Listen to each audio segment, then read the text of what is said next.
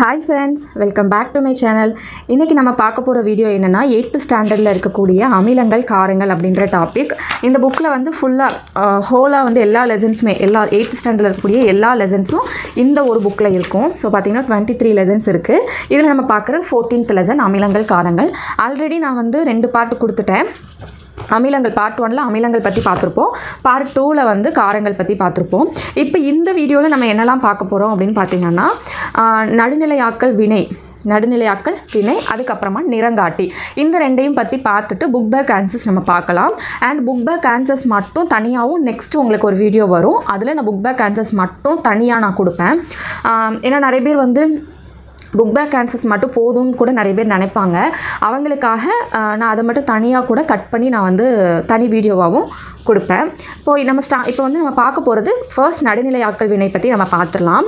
வேறுபட்ட வேதிப்பண்புகளை கொண்ட இரண்டு வேதிப்பொருட்கள் ஒரு வேதி வினையின் மூலம் நடுநிலை அடையும் அடையும் நிகழ்வு தான் நடுநிலையாக்கல் அதாவது ரெண்டு வேதிப்பண்புகள் கொண்ட அதாவது அமிலம் காரம் ஓகேவா ரெண்டுமே வேறு வேறு பண்புகள் இருக்கும். வேதி பண்புகள் அப்படின்னா செயற்கையான பண்புகள் இருக்குல்ல. செயற்கையாக நம்மளே வந்து கொண்டு வர்றது தான் செயற்கையான பண்பு அப்படி தானே அதுதான் வேதி பண்புன்னு சொல்லுவாங்க. அந்த மாதிரி நடக்கக்கூடிய ரெண் அதாவது அந்த மாதிரி பண்புகள் வந்து டிஃப்ரெண்ட்டாக இருக்கும். அமிலங்களுக்கு ஒரு விதமான வேதி பண்பு இருக்குது காரங்களுக்கு ஒரு விதமான வேதி பண்பு இருக்குது அந்த ரெண்டுமே வினை புரியும் போது ஒரு நடுநிலை ஆக்கப்பட்டு ஒ- ஒரு ஒரு இது வந்து நம்மளுக்கு கிடைக்குது. அதாவது அந்த ப்ராசஸ்க்குள்ளே அது போகுது பார்த்தீங்களா இப்போ வந்து அமிலமும் காரமும் சேர்ந்து ஒரு ப்ராசஸ் நடந்து ஒரு ரிசல்ட் வந்து நம்மளுக்கு கிடைக்கும். பட் அந்த ப்ராசஸை தான் என்ன சொல்கிறாங்கன்னா நடுநிலையாக்கல் அப்படின்னு அப்படின்னு சொல்லி சொல்கிறாங்க ஓகேவா அந்த ரெண்டுக்கும் இடையில நடக்கக்கூடிய வினை அதாவது ப்ராசஸ் அதை தான் வந்து நடுநிலையாக்கல் அப்படின்னு சொல்கிறாங்க நடுநிலையாக்கல் என்பது அமிலமும் காரமும் வினை புரிந்து உப்பையும் நீரையும் உருவாக்கும் வினை.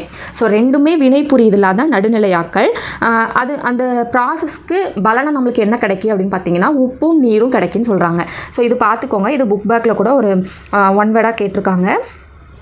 ஸோ அதனால் இது நல்லா பார்த்துக்கோங்க ஓகேவா அடுத்தது இந்த வினையில் ஹைட்ரோகுளோரிக் அமிலமானது ஹெச் ப்ளஸ் மற்றும் சிஎல் மைனஸ் அயனிகளையும் சோடியம் ஹைட்ராக்சைடு ஆனது என்ஏ ப்ளஸ் மற்றும் OH ஓஹெச் மைனஸ் அயனியும் தருகிறது. இந்த வினையில் ஹைட்ரோக்ளோரிக் அமிலம் வந்து ஹெச் அயனி ஹெச் ப்ளஸ் அயனி தனியாகவும் குளோரைடு அயனி அயனி வந்து தனியாகவும் நம்மளுக்கு கிடைக்கிது. அதே மாதிரி சோடியம் ஹைட்ராக்சைடில் சோடியம் தனியாகவும் ஹைட்ராக்சைடு தனியாகவும் நம்மளுக்கு கிடைக்குது அப்படின்னு சொல்லி சொல்கிறாங்க இந்த அயனிகள் இணைந்து சோடியம் குளோரைடு மற்றும் நீர் ஆகியவற்றை உருவாக்குது. அதாவது ஹைட்ரோக்ளோரிக் அமிலம் வந்து அமிலம். சரி ஹைட்ரோக்ளோரிக் அப்படின்றது அமிலம். சோடியம் ஹைட்ராக்சைடுன்றது காரம். இந்த ரெண்டும் வினை புரியும் போது சோடியம் ஹை குளோரைடு சோடியம் குளோரைடு தனியாகவும் நீர் அதான் ஹெச் இங்கே இங்கே ஹெச் இங்கே ஓஹெச் தனியாக வருதா? அப்போ ஹெச்சும் ஹெச்சும் சேர்ந்து ஹெச் டூ ஆயிடுது ஹெச் டூ ஓ நீராகவும் நம்மளுக்கு கிடைச்சிருது. ஸோ ஒரு உப்பு கிடைக்கிது ஒரு நீர் கிடைக்கிது. ஓகேவா இந்த மாதிரி கிடைக்குதுன்னு சொல்கிறாங்க இந்த வினை வந்து நம்மளுக்கு நிறைய ஒரு நிறைய நிகழ்வுகள் நடக்கும். பட் நம்மளுக்கு இங்கே ஒரு நாலு இது பர்டிகுலராக கொடுத்துருக்காங்க. இந்த நாளை கண்டிப்பாக பார்த்துக்கோங்க. ஏன்னா நம்மளுக்கு டேப்லெட் காலமில் கொடுக்குற ஒவ்வொரு விஷயமுமே நம்மளுக்கு ரொம்ப இம்பார்ட்டண்டான ஒரு விஷயம். அதை நம்ம எப்போதுமே வந்து நோட் பண்ணிக்கணும். நிறைய பேர் வந்து இந்த டேப்லெட் காலமில் இருக்கிறது ரொம்ப கஷ்டமாக இருக்குது அப்படின்றதுக்காக பார்க்காம இருப்பீங்க.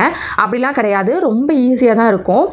ஒரு சில விஷயங்களை நீங்கள் புரிஞ்சுக்கிட்டிங்கன்னா போதும். அது மூலமாக நிறைய நல்- நிறைய விஷயங்கள் நம்ம கட கற்றுக்கலாம் இப்போ பார்த்தீங்கன்னா ஒரு சைடு அமிலம் கொடுத்துருக்காங்க ஒரு சைடு காரம் கொடுத்துருக்காங்க.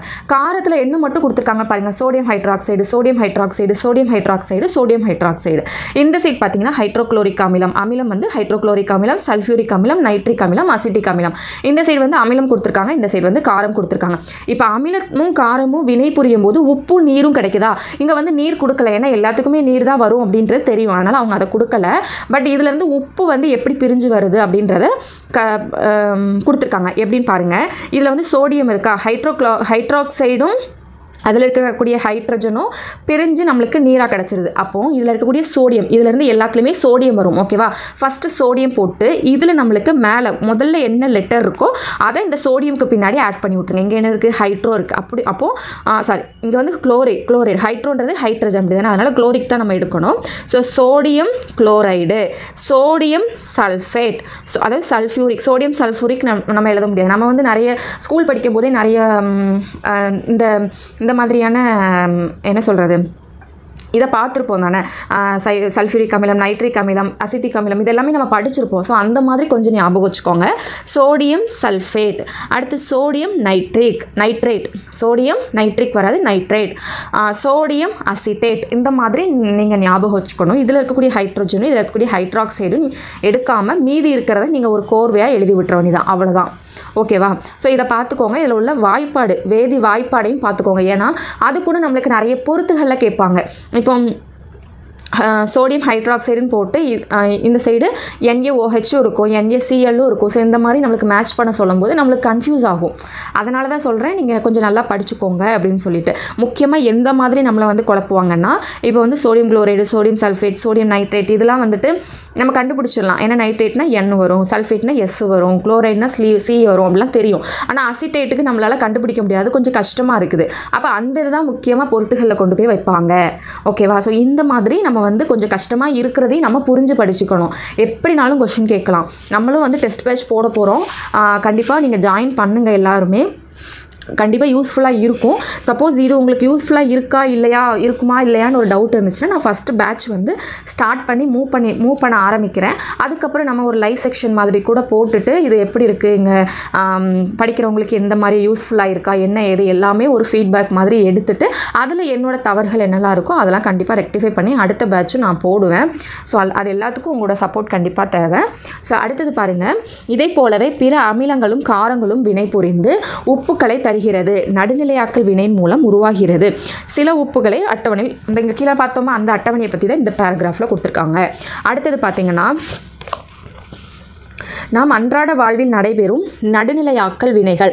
நம்மளுடைய டே டு டே லைஃப்பில் என்னென்ன நடுநிலையாக்கல் வினைகள்லாம் நடக்குது அப்படின்றத பற்றி பார்க்கலாம். அமிலங்களையும் காரங்களையும் சமநிலைப்படுத்துவது நமது ஆரோக்கியத்திற்கும் சுற்றுச்சூழலுக்கும் அவசியம். அமிலங்களையும் காரங்களையும் வந்து ச சமநிலைப்படுத்தணும். அதாவது நடுநிலை ஆக்கணும் ரெண்டுமே ஈக்குவல் ஆக்கணும் அப்படின்னு சொல்கிறாங்க ஏன்னா அப்படி ஆக்கினா தான் நம்மளுக்கு வந்து ஒரு சில விஷயங்களை நம்மளால் தங்கிக்க முடியும். இதில் வந்து மனிதர்களாகிய நம்மளையும் நிறைய விதமான அமிலங்களோ இல்லைன்னா காரங்களோ கா நம்மளை வந்து காயப்படுத்தும். துன்புறுத்தும். அதை ஈக்குவல் பண்ணுறதுக்கு இப்போ அமிலம் நம்மளை துன்புறுத்துதுன்னா காரத்தை அதுக்கு வந்து ஒரு மருந்தாக கொடுப்பாங்க. இதே வந்து காரம் வந்து நம்மளை துன்புறுத்துதுன்னா அமிலத்தை ஒரு கா மருந்தாக கொடுப்பாங்க. ஸோ ரெண்டையும் நடுநிலை ஆக்கினாதான் இந்த உலகத்தில் மனுஷங்களே வந்து எந்தவித கஷ்டமும் இல்லாமல் பயணிக்க முடியும். அதுக்கான எக்ஸாம்பிள் நம்ம இங்கே பார்க்கலாம். பார்த்தீங்கன்னா தேனி கொட்டுவது. நம்மளுக்கு வந்து நம்ம தேனி கொட்டும் நம்மளுக்கு தெரியும். பட் அந்த தேனியோட கொடுக்கில் என்ன அமிலம் இருக்குது அப்படின்றது இது வரைக்கும் நம்மளுக்கு தெரிஞ்சிருக்காது. பட் இந்த இதில் நல்லா டீட்டெயிலாகவே கொடுத்துருக்காங்க.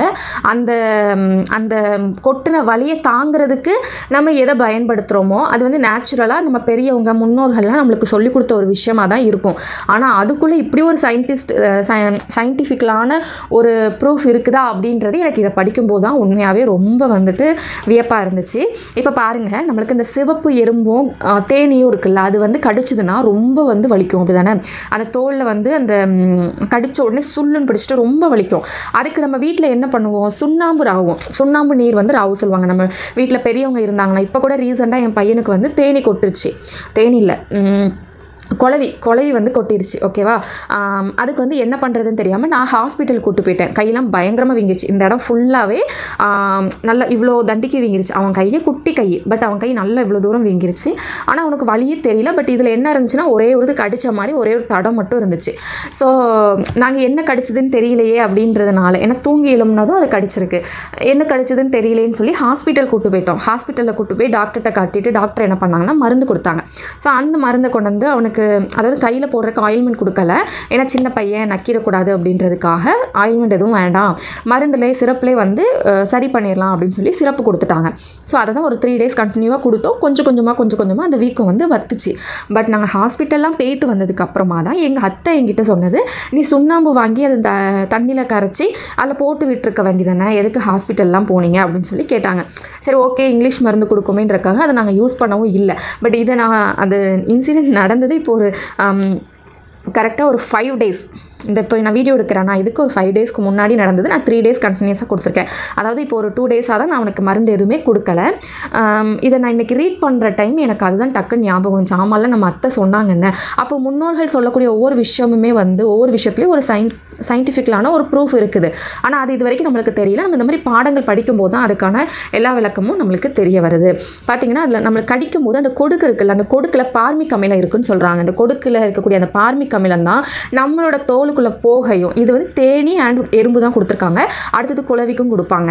ஸோ அந்த கொடுக்கு வந்து நம்ம மேலே அந்த பார்மிக் அமிலம் நம்ம தோலில் பட்டதும் நம்மளுக்கு அந்த இடம் வந்து ரொம்ப வலிக்குது. எரிச்சல் இந்த இடத்துல எரிச்சல் உணர்வையும் வலியையும் உண்டாக்குது. அந்த பார்மிக் அமிலம் ஸோ அந்த வலியையும் எரிச்சல் எரிச்சலையும் கண்ட்ரோல் பண்ணணும். அந்த பார்மிக் அமிலத்துடைய அந்த இதை நம்ம கண்ட்ரோல் பண்ணணும்னா நம்மளுக்கு என்ன வேணும்னா கால்சியம் ஹைட்ராக்சைடு நம்மளுக்கு அதில் வேணும். கால்சியம் ஹைட்ராக்சைடு எதில் இருக்குது அப்படின்னு பார்த்தீங்கன்னா முன்னாடி நம்ம இந்த டேப்லெட் கலம்பில் பார்த்துருப்போம்.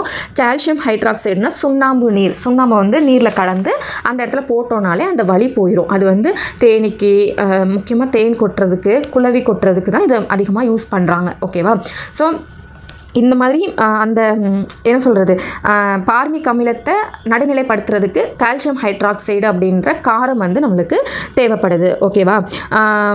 இது வந்து கால்சியம் ஹைட்ராக்சைடு எங்கே இருக்குன்னா நீற்று சுண்ணாம்பு. ஓகேவா?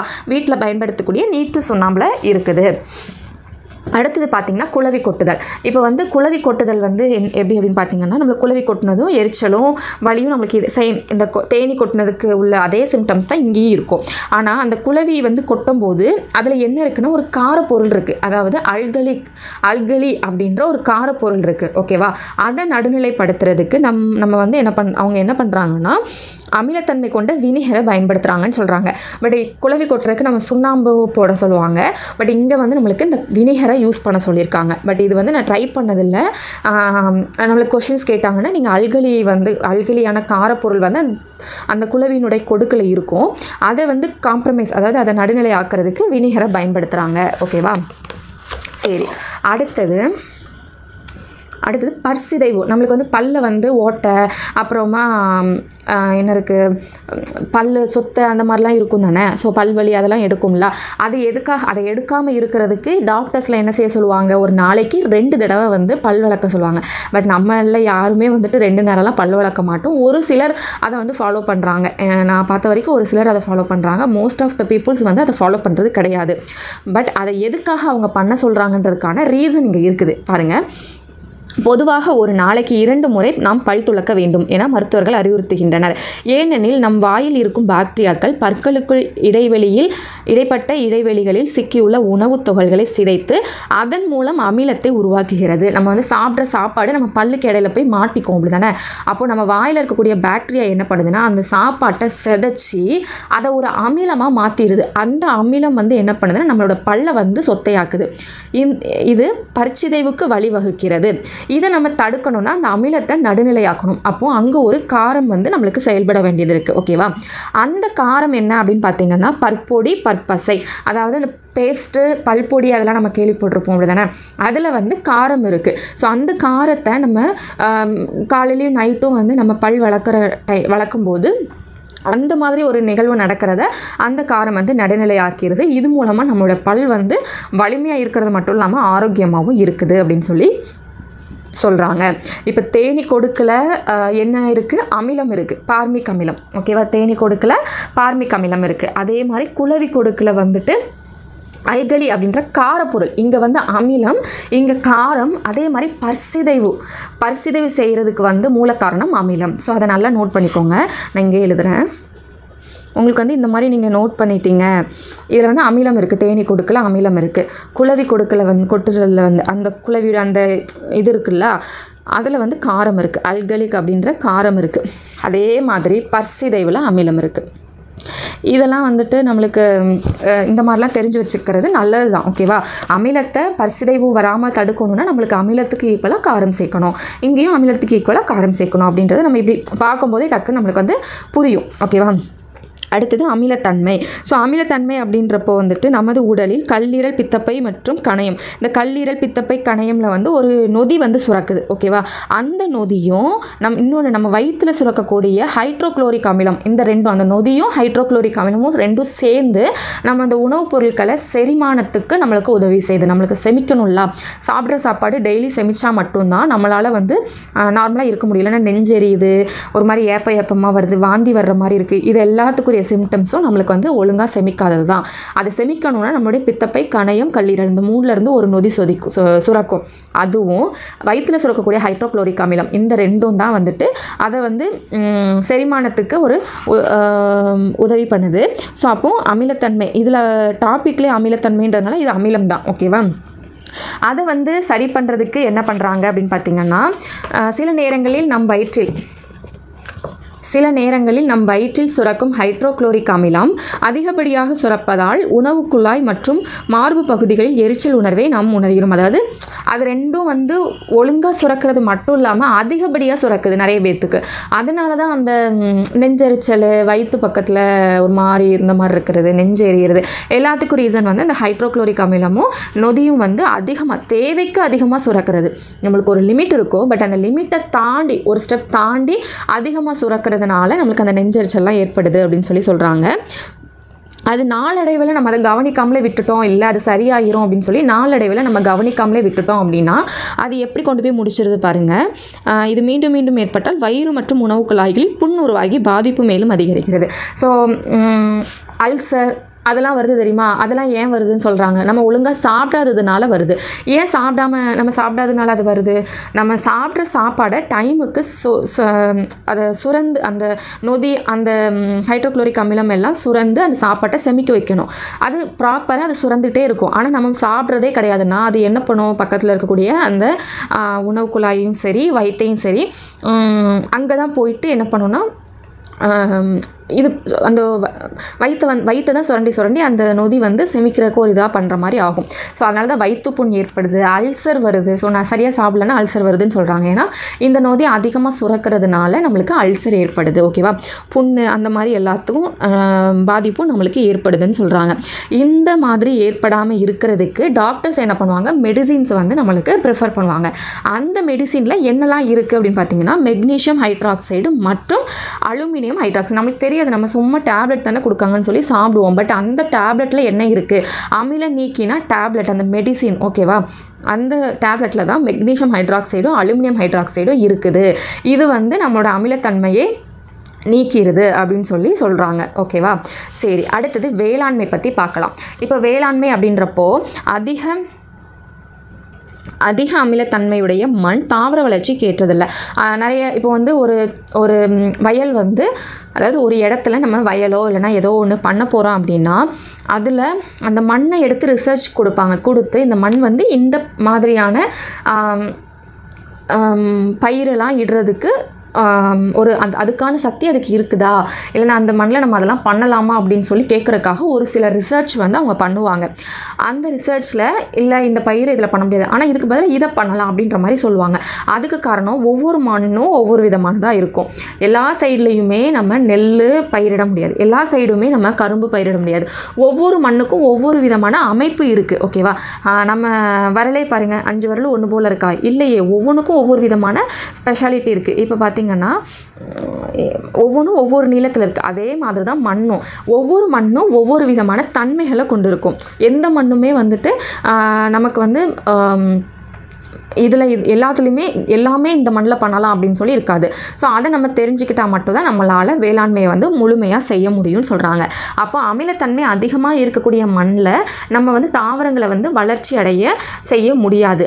இதை சரி செய்வதற்கு இதை சரி செய்கிறதுக்காக விவசாயிகள் என்ன பண்ணுறாங்கன்னா சுண்ணாம்பும் சுண்ணாம்பு கற்கள் சுண்ணாம்பு சுண்ணாம்பு கற்கள் அல்லனா மரக்கட்டைகளை அதால் கிடைக்கும் சாம்பல். சுண்ணாம்பு சுண்ணாம்பு கற்கள் போடுவாங்க இல்லைன்னா மரக்கட்டை போடுவாங்க. இந்த இதை இந்த இந்த கலவைகளை நம்ம எரிக்கிறது மூலமாக ஒரு சாம்பல் கிடைக்குமா? அந்த சாம்பலை அந்த மண்ணில் வந்து தூவி விடுவாங்க. அப்படி தூவி விடம் விடுறதுனால அந்த மண்ணோட அமிலத்தன்மை நீங்கி காரத்தன்மை. அப்போ வேளாண்மையில் என்ன வருது? அமிலம். ஸோ அமிலம். அந்த அமிலத்தன்மை வந்து நீங்கி காரத்தன்மை வந்து நட் வந்து நடுநிலை ஆக்கிடுது இந்த சாம்பல் வந்து காரத்தன்மை கொண்டது. இது வந்து சமநிலை ஆக்கிறது அப்படின்னு சொல்லி சொல்கிறாங்க அப்போது இது நம்மளுடைய டே டு டே லைஃப்பில் அவங்க கொடுத்துருக்கிறது தேனி கொட்டுதல் குளவி கொட்டுதல். அடுத்தது பஸ் பரிச்சிதைவு அமிலத்தன்மை வேளாண்மை. அஞ்சு இது அஞ்சு அதுக்கடுத்து தொழிற்சாலை இருக்குது ஆறு. ஓகேவா ஸோ இந்த ஆறில் நம்மளுக்கு இந்த கொ குளவி கொட்டுதல் மட்டும்தான் காரம். மீதி எல்லாமே அமிலம் தான் இப்போ நம்ம தொழிற்சாலையும் பார்த்துக்க தொழில்துறையும் பார்த்துக்கலாம் அது என்ன கொடுத்துருக்காங்க அப்படின்றது. தொழில்துறை தொழில்துறையிலிருந்து வெளியேற்றப்படும் கழிவுகளில் சல்ஃபியூரிக் அமிலம் உள்ளது. நம்மளுக்கு ஃபேக்ட்ரிஸ்லலாம் இருந்து வெளியேற்றக்கூடிய கழிவுகள் என்ன இருக்கும் அப்படின்னு பார்த்தீங்கன்னா சல்ஃபியூரிக் அமிலம். அப்போ இதுவும் அமிலம். ஓகேவா ஸோ சல்ஃபியூரிக் அமிலம் உள்ளது. ஆறுகள் மற்றும் நீரோடைகளில் வழியாக கழிவுகளை வெளியேற்று வெளியேற்றும் முன் அவற்றுடன் சுண்ணாம்பு சேர்க்கப்படுது. இப்போ வேளாண்மைக்கு நம்ம எப்படி சுண்ணாம்பு சுண்ணாம்புக்கள்லாம் சேர்க்குறோமோ அதே மாதிரி தொழில்துறையிலையும் ஒரு கழி தொழில்துறையில் இருந்து அதாவது அந்த ஃபேக்ட்ரியிலேருந்து ஒரு கழிவு வெளியில் போகிறதுக்கு முன்னாடி அந்த கழிவில் என்ன சேர்க்குறாங்கன்னு பாருங்கள் சுண்ணாம்பு சேர்க்குறாங்க. இது வந்து என்ன ஆகுது அப்படின்னா மின் உற்பத்தி அதே மாதிரி மின் உற்பத்தி நிலையங்களையும் மின்சாரம் தயாரிப்பதற்கு நிலக்கரி போன்ற புதைப்படிவ எரிபொருட்கள் எரிக்கப்படுகிறது. அவை எரியும் போது சல்ஃபர் டை ஆக்சைடு இப்போ தொழிற்சாலைகளிலிருந்து வெளியேறக்கூடிய கழிவுகளை சல்ஃபியூரிக் அமிலம் இருக்குது அதே மாதிரி மின்சாரம் தயாரிக்கக்கூடிய அந்த இடத்துலேருந்து வெளியேறக்கூடிய வெளியேறக்கூடியது கூடியதில் சல்ஃப் சல்ஃபர் டை ஆக்சைடு அந்த வாயுவில் சல்ஃபர் டை ஆக்சைடு இருக்குது. இந்த சல்ஃபர் டை ஆக்சைடு சரி செய்கிறதுக்கு என்ன பண்ணுறாங்கன்னா சுண்ணாம்புத்தூள் இந்த கழிவுகளில் சல்ஃபரிக் அமிலத்தை சரி செய்கிறதுக்கு சுண்ணாம்பு சேர்க்குறாங்க. இந்த கல் சல்ஃபர் டை ஆக்சைடை சரி செய்கிறதுக்கு நடுநிலை ஆக்கிறதுக்கு சுண்ணாம்புத்தூள் இல்லைனா சுண்ணாம்பு கற்கள் வந்து பயன்படுத்துகிறாங்க இந்த சல்ஃபர் டை ஆக்சைடுனால தான் காற்று மாசுபாடு மாசுபாடு தடுக்கப்படுகிறது. இந்த மாதிரி சேர்க்கறது மூலமாக சல்ஃபர் டை ஆக்சைடால் ஏற்படுத்தக்கூடிய காற்று மாசுபாடை தடுக்கிறாங்க. இப்போ காஸ் காற்று மாசுபடுறதுக்கு ஃபேக்ட்ரியிலேருந்து வெளியே போகக்கூடிய வாயு எதுன்னு பார்த்திங்கன்னா சல்ஃபர் டை ஆக்சைடு கழிவு என்னென்னா சல்ஃபியூரிக் அமிலம். இது ரெண்டையும் நம்மளுக்கு நடுநிலை ஆக்கிறதுக்கு அதாவது அதன் மூலமாக நம்மளுக்கு எந்த பாதிப்பும் ஏற்படாமல் இருக்கிறதுக்கு அவங்க பயன்படுத்தக்கூடியது சுண்ணாம்பு இல்லைன்னா சுண்ணாம்பு கற்கள் சுண்ணாம்பு தூள் இதை வந்து பயன்படுத்துகிறாங்க இது மூலமாக அதிலேருந்து வரக்கூடிய ம், இது எல்லாமே வந்துட்டு அதாவது மாசுபடக்கூடிய எல்லாமே தடுக்கப்படுது அப்படின்னு சொல்லி சொல்கிறாங்க ஓகேவா? அடுத்தது நிறங்காட்டி. நிறங்காட்டி அல்லது அமிலக்கார நிறங்காட்டின்னு கூட இதை சொல்லலாம் அப்படின்னு சொல்லி சொல்கிறாங்க ஒரு வேதிப்பொருள் அமிலத்தன்மை உடையா உடையதா இல்லைனா காரத்தன்மை உடையதா அப்படின்றத நம்ம கண்டுபிடிக்கிறது இந்த நிறமாற்றத்தின் மூலமாக தான் கண்டுபிடிக்கிறோம். அது இயற்கையாகவோ இல்லைனா செயற்கையாகவோ கண்டுபிடிக்கலாம் அப்படின்னு சொல்லி சொல்கிறாங்க நம்ம ஃபஸ்ட்டு பார்க்க போகிறது இயற்கை முறையில் எப்படி வந்து அதை கண்டுபிடிக்கலாம் அப்படின்றத பற்றி பார்க்கலாம். இயற்கை முறையில் நம்மளுக்கு நிறங்காட்டி கண்டுபிடிக்கிறதுக்கு நாலு மெத்தட் இருக்குது லிட்மஸ் தாள் மூலமாக கண்டுபிடிக்கிறாங்க. மஞ்சள் சாறு மூலமாக செம்பருத்தி பூ மூலமாக பீட்ரூட் சாறு மூலமாக இந்த நாலு விதத்துலையும் அவங்க கண்டுபிடிக்கிறாங்க அப்படி இயற்கை முறையில் கண்டுபிடிக்கிறாங்கன்னு சொல்லியிருக்காங்க. மஞ்சள் நிறங்காட்டி அப்படின்னா என்னென்னா மஞ்சத்தூள் இருக்குல்ல அந்த மஞ்சத்தூளில் கொஞ்சோண்டு நீரை சேர்த்து சேர்த்து அதை வந்து மஞ்சள் தூள் பசையை வந்து தயாரிக்கிறாங்க. இது வந்து இதை வந்து மஞ்சள் உரியும் தாள் அப்படின்னு சொல்லி ஒன்று இருக்கான் மஞ்சள் உரியும் தாள். அந்த தாள் அல்லனா வடிதாளின் மீது பூசப்பட்டு உலர்த்தப்படுகிறது. அதில் பூசி அதை வந்து காய வச்சிடுறாங்க. காய வைக்கிறதன் மூலமாக இது வந்து அமிலத்தன்மையுடையதா காரத்தன்மையுடையதா அப்படின்றத கண்டறிய முடியுது. அது எப்படி கண்டுபிடிக்கிறாங்கன்னா அந்த இது அந்த ஒரு பொருள் வந்து அமிலத்தன்மை உடையதுன்னா அது அந்த தாள் வந்து மஞ்சள் நிறத்திலே இருக்கும். அந்த மஞ்சள் சாறு ஒன்று கண்டுபிடிச்சிருக்காங்கல்ல அதை வந்து அந்த தாள் மேலே பூசும்போது அந்த தாளில் அந்த தாளில் பூசி அதை காய வச்சுருக்காங்கல்ல அந்த தாளை கொண்டு போய் ஒரு கரைசல் வந்து கரைசலுக்குள்ளே இப்படி முக்கி எடுக்கும்போது இங்கே இருக்குது பார்த்தீங்களா முக்கி எடுக்கும்போது நம்மளுக்கு அந்த கரைசல் மஞ்சள் கலர்லேயே இருந்துச்சுன்னா அது வந்து அமிலத்தன்மையுடையது. இதே அந்த தாளை வந்து இன்னொரு இன்னொரு ப்ராடக்ட் மூ ப்ராடக்ட்குள்ளே நம்ம விட்டு எடுக்கும்போது அது வந்து கலர் சேஞ்ச் ஆகி சிவப்பு நிறமாக மாறுச்சுன்னா அது காரத்தன்மை உடையது அப்படின்னு சொல்லி சொல்கிறாங்க அதே மாதிரி செம்பருத்தி பூ நிறங்காட்டினா என்னென்னா இது ரொம்ப ரொம்ப நேச்சுரலாக கண்டுபிடிக்கக்கூடியது. ஒரு வெந்நில செம்பரு செம்பருத்தி பூவை வந்து பூவோட இதழ்கள் இருக்குல்ல அந்த இதழ்களை போட்டு ஒரு அஞ்சுலேருந்து ஒரு பத்து நிமிஷம் வரைக்கும் அதை ஊற விடணும்.